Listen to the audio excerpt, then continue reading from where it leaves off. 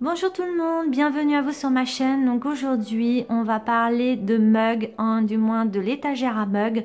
On va customiser tout ça ensemble, donc euh, on se retrouve juste après le générique.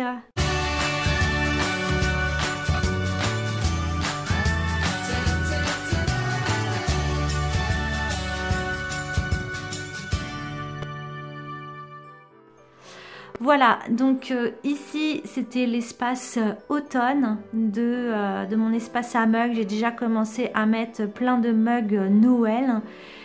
ceux que j'avais l'année dernière, ceux que j'ai reçus cette année. Donc aujourd'hui l'idée c'est de changer toute cette décoration et elle va passer en mode Noël. J'aimerais bien faire quelque chose comme un peu style forêt, donc avec plein de sapins euh, des sapins, des animaux. Voilà, j'ai pensé un peu le côté euh, la, forêt enchantée. On pourrait appeler ça comme ça, la forêt enchantée au niveau des mugs. Donc euh, je vais enlever tout ça et je vais vous présenter un peu tout le matériel auquel je pense pour customiser toute cette partie. Alors voilà, là j'ai tout vidé. Il me reste encore une bûche derrière, un petit plateau en bois. Donc euh, maintenant je vais essayer de trouver un peu les idées, euh, c'est-à-dire que je vois bien du bois, du sapin, euh, couleur rouge, or, vraiment les couleurs traditionnelles.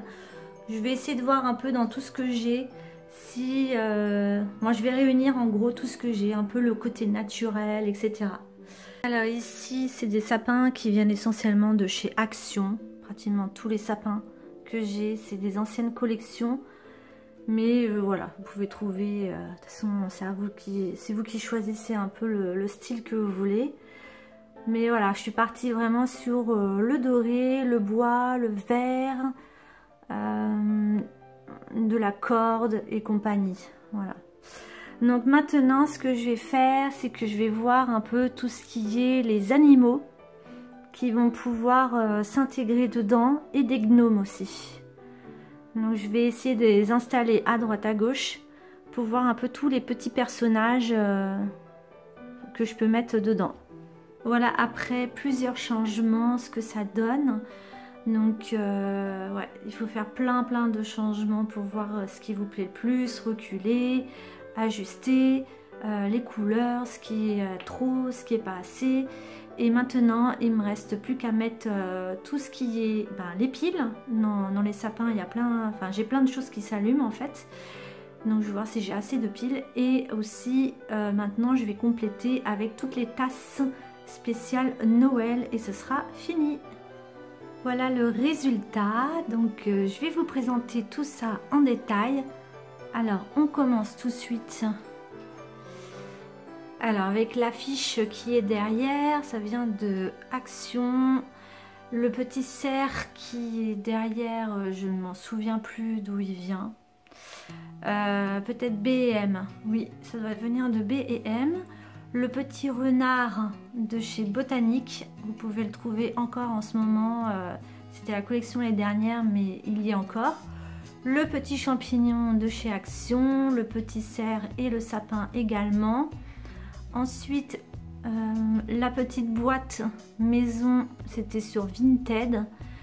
le mug avec euh, les trois gnomes, c'est de chez Super U, il me semble, de l'année dernière. La tasse euh, qui est en haut, c'est Villeroy. ici, c'est une petite tasse ours de chez Maison du Monde de l'année dernière.